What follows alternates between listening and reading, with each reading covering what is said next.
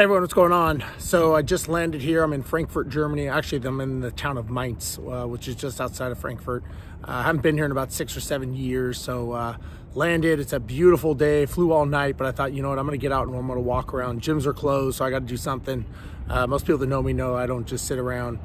Uh, but you know, I have a lot of people asking me, you know, why, you know, how do I do this, right? How do I keep flying and doing real estate? And you know, how am I able to do it? I think you're asking the wrong questions. I think what you should be asking me is why do I do this? Why do I choose to have this lifestyle? Well, you know, look, look where I'm at. You know, I get to see some of the best places in the world. You know, real estate has afforded me the ability to have the life I want to have and not be dependent on just a job. So I think maybe, you know, the answer is asking yourself better questions. You know, why do I do what I do? I do it because I want to have a certain lifestyle. I love traveling. I love the ability to go anywhere in the world whenever I want.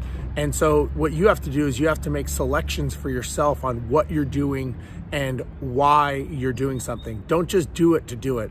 A lot of people think for some reason that I should get to a certain number in my bank account and I should quit being an airline pilot and I should quit flying and just do real estate. I love flying. I love the ability to travel all over the world and see all these, you know, cool places and these these buildings and all this stuff. You know, it's a it's a dream. It's something I want to do as a little kid. But I also know it's a job and I know that it can be taken away from me at any moment, which is what real estate gives me. So again, just ask yourself better questions why you're doing something. And if you don't know the answer, that's what you should focus on. Don't worry about the how. You know, I can give up sleep. Look, we can all give up sleep. I do it all the time to be focused and be intentional and to be successful. You know, you make a choice every day. And the choice I make is to come, travel, see the world. I get to a new city, I'm out doing stuff. You can do the same.